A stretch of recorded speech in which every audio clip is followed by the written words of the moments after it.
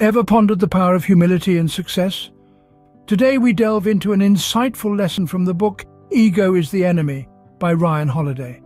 A classic, it presents an intriguing perspective, embracing humility during our highest moments of success. Why, you ask? Picture this. Success often brings a surge of ego and self-confidence. But wait, it's a double-edged sword. It can blind us, leading to complacency, overlooking our flaws and ignoring valuable feedback. Humility, the unsung hero, steps in here. It keeps us grounded, reminds us of our roots, and encourages us to continuously strive for improvement. It's the compass that keeps us on course, even in the storm of success. So, next time you taste success, remember, let humility be your anchor. It's not about undermining your achievements, but about maintaining an open heart and an eager mind.